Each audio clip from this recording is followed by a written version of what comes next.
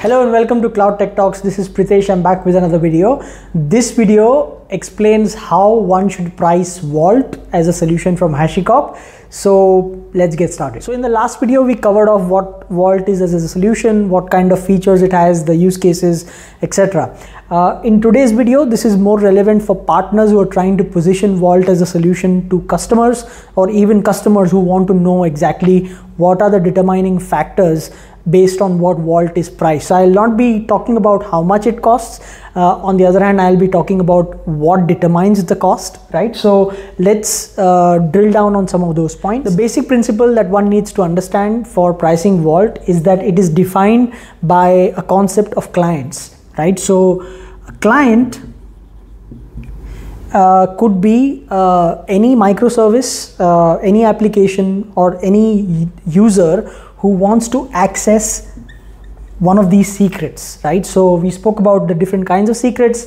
It could be again to uh, reiterate a user, physical user, a person, etc., or a microservice or an application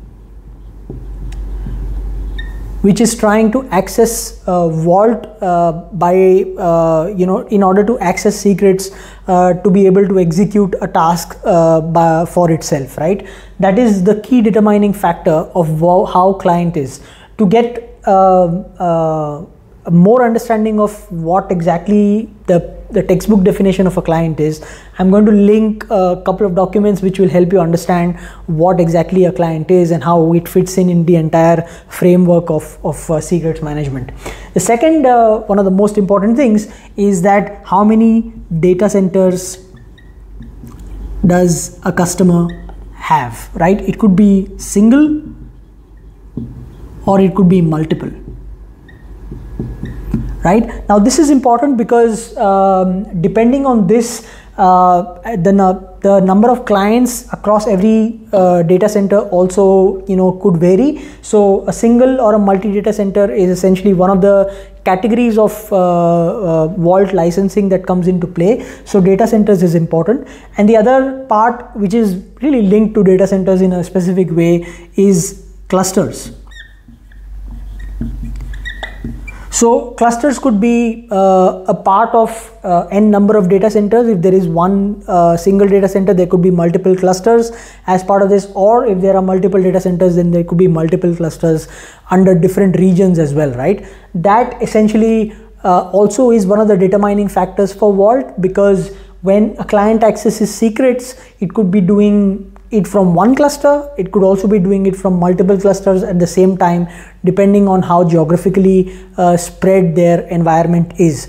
Now, the key thing to note here is that if, if there are multiple clusters, but uh, accessing uh, uh secrets is only happening from one cluster, could be let's say one production cluster, then all of the other clusters don't matter that much.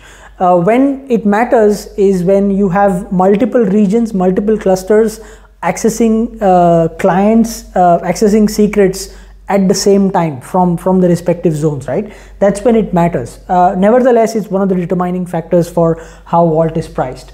Uh, the next point is essentially about the features what exactly you want your vault edition to do so i'll link uh, one of the documents in the description below which essentially talks about enterprise packaging for vault and what kind of categories of vault licensing exist.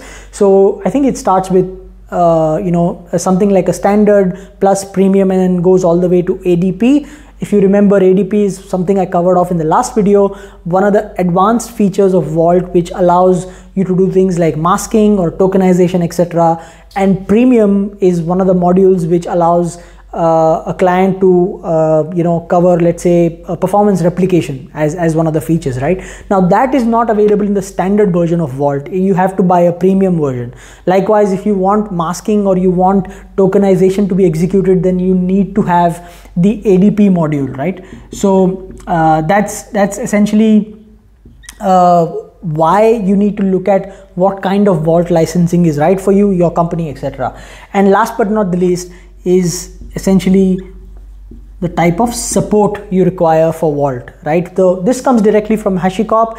Uh, there are three main types of support levels, gold, silver, and bronze, depending on whether you want 24-7 access or you want uh, uh, 9 by 5 Monday to Friday kind of access. So uh, every single uh, support mechanism uh, provided by HashiCorp comes with its own uh, you know SLAs, severity levels for response times or anything that goes wrong and that's where uh, you know the pricing also plays a important role as far as the determining factor is concerned. So to summarize we covered off uh, vault is being priced based on clients. Uh, it uh, what matters is how many data centers you have whether it's one or multiple.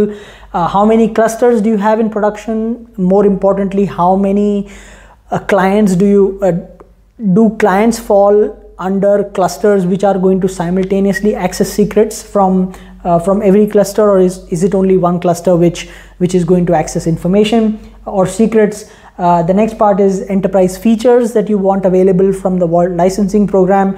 So uh, i covered off some of the features that premium edition has some of the features that the adp edition has as well uh, and last but not the least, the support aspect. Support is essentially uh, the kind of support you get from HashiCorp as part of your licensing program. So uh, this is what I wanted to cover off, how Vault is priced. Hopefully this gives uh, a clear idea and indication of uh, what to look for when, when you are talking to a customer. And if you have this information, it will sort of become easier for uh, someone like us to be able to uh, grant you access to how much is going to cost and um, it will save a lot lot of time in the process. So hopefully this is useful for you and until next time this is pritesh signing off from cloud tech talks. Thank you